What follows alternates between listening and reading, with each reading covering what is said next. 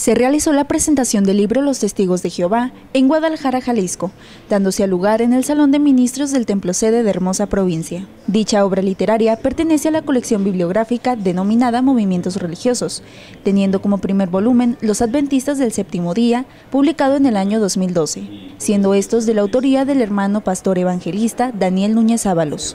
Esta obra eh, analiza tanto la historia como las creencias del grupo religioso de los testigos de Jehová y examina sus doctrinas a la luz de las escrituras, viendo que las escrituras muestran que las doctrinas de ellos son totalmente opuestas a la enseñanza bíblica. En este libro podemos encontrar una estructura con grandes temas, como la resurrección de Cristo y los 144.000, haciendo reflexión de la esperanza terrena y marcando su diferencia con la celestial, la cual tiene la iglesia del Dios vivo.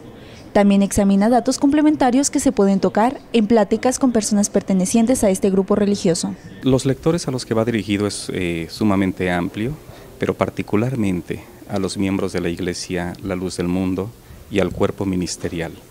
Pero cualquier persona, desde luego, eh, será agradable saber que ha leído eh, esta obra.